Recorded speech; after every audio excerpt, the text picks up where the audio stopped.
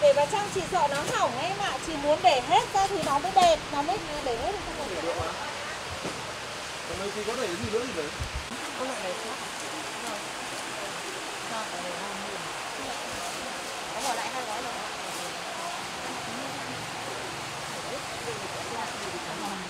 Không lấy.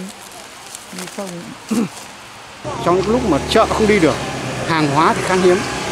Ờ, thì chúng tôi lại có một cái cửa hàng rất là tự do mà được lựa chọn theo các cái mình cái thứ mình muốn. Cho nên là nó làm cho chúng tôi rất cảm động. Hôm nay thì mua mấy thứ được gọi là hàng thiết yếu thì tôi phải lấy ít gạo ít uh, nước mắm ít uh, đường rồi thì một số các cái thực phẩm về rau quả.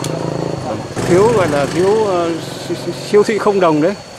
Và chỉ với người ta, với với cái nội dung trong nó nói là chúng tôi được quyền mua 400 nghìn trong cái siêu thị mini này hoàn toàn được lựa chọn. Ờ, những cái mặt hàng này là tôi thấy là, là nó rất là tươi sống. Về các cái đồ hàng thì nói chung là còn đắt và mình có thể là hoàn toàn sử dụng được rất là tốt yên tâm. Cho nên tôi cho là cách làm như thế này là là bà con rất phấn khởi. Tôi là ở ờ, phường Đức Thắng nhận được ờ, thông tin là phường Đức Thắng ờ, đưa cho thì hôm nay tôi đi nhận không đồng. Trong siêu thị không đồng thì hầu như là đầy đủ các ờ, mặt hàng trứng này, à, mì tôm này, dầu ăn, nước mắm, nhiều nói chung là các loại. Họ phát cho cô phiếu đi mua phiếu không đồng để đi vào là một cái phiếu đấy là được 400 nghìn. Hoạt động này nó là rất tốt cho nhân dân.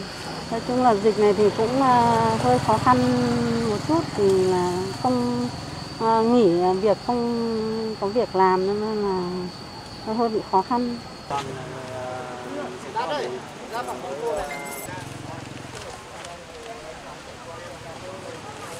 Cháu, đúng là đến đợt các bạn ấy gọi mình.